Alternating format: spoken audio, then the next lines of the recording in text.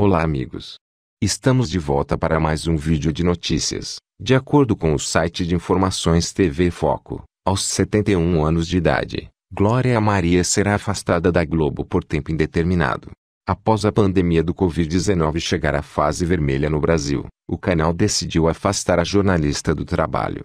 A veterana faz parte do grupo de risco da doença. Por causa disso, vinha gravando algumas passagens do Globo Repórter do jardim de sua casa, Porém, para evitar qualquer exposição à nova doença, a emissora decidiu tirá-la da atração. Enquanto isso, Sandra Annenberg, a ex-apresentadora do jornal Hoje, deverá ficar sozinha à frente do Globo Repórter. Pelo menos durante as próximas semanas, ela aparecerá sem a companhia de sua parceira de trabalho.